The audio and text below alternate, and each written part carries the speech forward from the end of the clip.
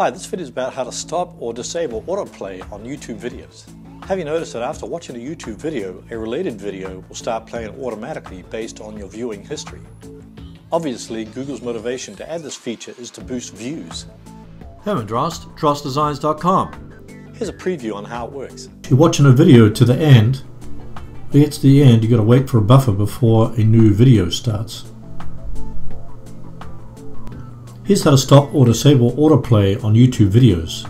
If you go to the top right here, it says autoplay, and this click this eye here, it says when autoplay is enabled, a suggested video will automatically play next. So you just click this icon here, and that will stop the autoplay feature. If you want more time before the next video begins, pause the video by scrolling down past the video player. You can also pause the video by typing something into the search box or type in a comment. You can also click cancel on the countdown screen to stop the next video from playing.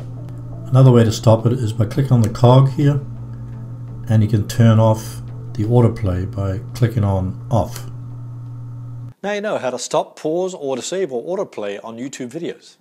Click this image to download my free report, YouTube Editing Secrets. Learn the shortcut to video editing on YouTube that doesn't require expensive software. Click this image to download it now or click the link in the description below this video. Thanks for watching.